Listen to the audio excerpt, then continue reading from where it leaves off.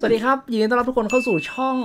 Mark นาราทิพนะครับสำหรับในคลิปวิดีโอนี้ผมก็มีข่าวดีมาบอก ซึ่งต้องบอกเลยครับว่ามันเป็นข่าวที่เป็นการเปลี่ยนแปลงครั้งใหญ่ของช่องเราเลยนะครับทุกคน ซึ่งข่าวนั้นนะครับก็คือ ผมกำลังจะเพิ่มคอนเทนต์ Forex เข้ามาในช่องของเราแล้วนั่นเองนะครับ เออ ก็สำหรับคอนเทนต์ที่ผมจะเพิ่มเข้ามานะครับ ก็จะมีเป็นคอนเทนต์ทั้งสอนเทรด Forex แล้วก็ challenge ปั้นพอร์ตที่เป็น challenge ของ Forex เลยนะครับ แล้วก็ Day Trade Forex อ่า นี่คือสิ่งที่หลาย ๆ คนอยากเห็นมาก ๆ นะครับ อยากเห็นผม Day Trade Forex กันนะ เออ ก็เดี๋ยวเร็ว ๆ นี้รอติดตามรับชมกันได้เลยนะครับทุกคน คราวนี้ผมเชื่อว่าเพื่อน ๆ หลาย ๆ คนต้องมีคำถามแน่นอนนะครับว่า เฮ้ยทำไมผมถึงเพิ่มคอนเทนต์ Forex เข้ามาด้วย เออ ผมจะเลิกเทรด binary เหรอ ไม่ใช่นะครับทุกคน ผมเทรด binary เหมือนเดิม แต่ว่าผมเพิ่มคอนเทนต์ Forex เข้ามาด้วย เป็น2คอนเทนต์ในช่องเรานั่นเองนะครับ คราวนี้ อ่าถามว่าทำไมถึงเพิ่มเข้ามา ก็ถ้าเปรียบการเทรดเนี่ยเป็นหลีกการแข่งขันนะครับเป็นหลีกได้ลีกหนึ่งอะไรอย่างนี้นะครับทุกคนการเทรด binary เนี่ยมันเปรียบเสมือนเป็นหลีกที่อยู่ต่ำที่สุดเลยนะครับทุกคนถามว่าเอ้ยทำไมมันถึงเป็นหลีกที่อยู่ต่ำที่สุด เพราะว่ามันเป็นหลีกที่เทรดยากที่สุด แล้วก็ตลาดแคบที่สุด ตลาดมันเล็กที่สุดนั่นเองนะครับทุกคนคือนี่แหละด้วยความที่มันเทรดยากนั่นแหละคนเลยไม่ค่อยเทรด binary กันนะครับ มันยากแล้วมันก็เลยแคบมันเลยเล็กนั่นเองนะครับทุกคนครานี้ต่อมาสูงขึ้นมาหน่อยก็คือหุ้นในประเทศ หุ้นในประเทศก็เนี่ยนะครับอย่างประเทศไทยเราก็มีหุ้นไทยเนาะอะอันนี้แหละอันนี้ก็จะเป็นตลาดที่ใหญ่ขึ้นมาหน่อย แต่ว่าก็จะไม่ได้ใหญ่มากนะครับทุกคนเพราะว่าตลาดหุ้นไทยก็อย่างที่เรารู้ๆกันเนาะมันก็ก็มีแค่ในประเทศไทยก็แค่กระจุกเดียวแค่นี้นั่นเองนะครับ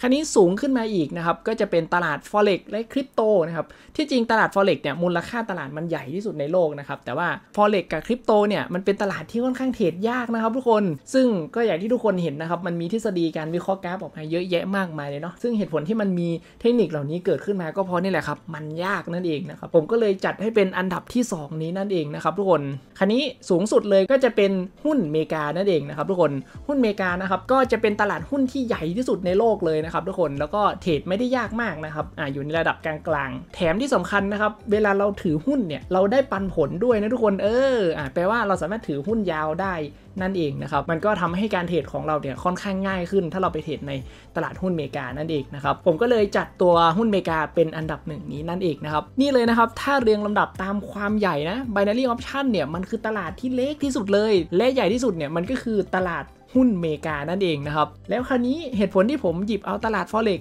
มาทำคอนเทนต์เพิ่มเติมในช่องของเราด้วย ก็เพราะว่าเป็นเหมือนการที่ผมอัพขั้นตัวเอง หรือว่าพัฒนาตัวเองไปอีกขั้นให้ผมไปเทรดในตลาดที่มันใหญ่ขึ้นได้พัฒนาไปอีกขั้นหนึ่งอีกเลเวลหนึ่งนั่นเองนะครับคราวนี้ต้องมีคนสงสัยทำไมผมไม่สนใจหุ้นไทยบ้างเหรอไม่สนใจหุ้นในประเทศเหรอก็อย่างที่บอกนะครับตลาดมันยังเล็กอยู่นะก็เลยไม่ได้สนใจขนาดนั้นนั่นเองนะครับคราวนี้ต่อมาอีกหนึ่งเหตุผลนะครับก็คือผมต้องการจะเพิ่มเนื้อหาของช่องเราให้มันกว้างมากขึ้นนั่นเองนะครับ อย่างที่ทุกคนรู้ๆนะครับ ก็คือตอนนี้ผมร่วมงานกับทีม One Trader นะครับ ทีมที่เขาคอยจัดการคอนเทนต์ต่างๆ ให้ในช่องของเรานี้นั่นเองนะครับ ซึ่งทีมนี้เนี่ยคอนเทนต์ดีมากนะครับ ทุกคนได้รับรีวิวบน Trustpilot เนี่ยไปถึง 4.5 ดาวเลยนะครับ ก็ทีมนี้เนี่ยเขาก็ให้คำแนะนำผมมาดีมากๆเลยนะทุกคนเขาก็แนะนำว่าเออเนี่ยผมควรจะเพิ่มตัว forex เข้ามานะคอนเทนต์มันจะได้กว้างขึ้นเพราะว่าคอนเทนต์ส่วนใหญ่เนี่ยมันอยู่ในโลกของการเทรด forex เราควรจะมีคอนเทนต์ forex ในช่องด้วยจะทำให้ช่องเราเนี่ยมีคอนเทนต์ได้กว้างขึ้น เออ ก็นี่นะครับเขาแนะนำมาแบบนี้แล้วผมก็เห็นว่าเออ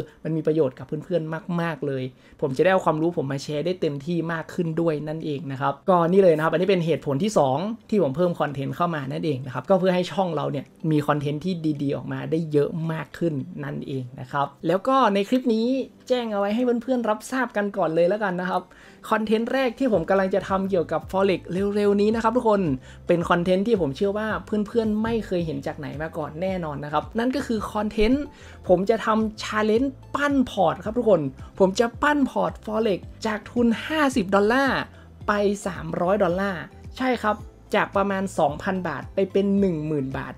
ด้วยการเทรด forex นี้ และที่สำคัญผมจะลงเป็น chain คลิปให้เพื่อนๆดูกันด้วย chain คลิปก็คือผมเข้าเทรดออเดอร์นี้ แต่ผมจะไม่รอให้มันจบ TP หรือ SL นะครับ ผมก็จะตัดตอนผมเข้าเทรดแล้วก็บอกถึงเหตุผลว่าผมเข้าเทรดเพราะอะไร แล้วผมก็จะเอามาลงให้เพื่อนๆดูในช่องเลยนั่นเอง แล้วคลิปถัดไปเราก็ค่อยมาอัปเดตกันอีกทีว่าสรุปในคลิปที่แล้วได้เข้าเทรดไปเนี่ยผลงานเป็นยังไง จบกำไรหรือจบขาดทุน แล้วจุดต่อไปที่ผมจะเข้าเทรดเป็นจุดไหนต่อ นี่นะครับ อันนี้เขาเรียก chain คลิปนะครับทุกคน แล้วมันก็จะ chain chain chain กันต่อไปเรื่อยๆ ให้เพื่อนๆได้เห็นแบบเรียลไทม์เลยนั่นเองนะครับว่าผมเข้าเทรดตรงไหนอะไรยังไงนั่นเองนะครับ มันก็จะกึ่งๆเป็นสัญญาณได้ด้วยเนาะ แต่ว่าผมอยากจะให้เพื่อนๆเอาไว้ใช้เป็นแนวทางในการเทรดกันมากกว่านะครับ ประมาณนี้นะ โอเค อันนี้นะครับแจ้งเอาไว้ก่อนเลย ก็ฝากทุกคนติดตามรับชมกันด้วย แล้วก็โบรกเกอร์ที่ผมจะใช้เทรด forex เป็นโบรกเกอร์ไหนเออรอติดตามรับชมกันนะครับทุกคน บอกเลยว่านี่คือข่าวใหญ่มากๆนะครับ โอเค แล้วเจอกันสำหรับคลิปหน้าครับ ถ้าเพื่อนๆชอบคลิปนี้ ฝากกดไลค์ กด subscribe กดกระดิ่ง เป็นกำลังใจให้กับผมด้วยนะครับ สวัสดีครับ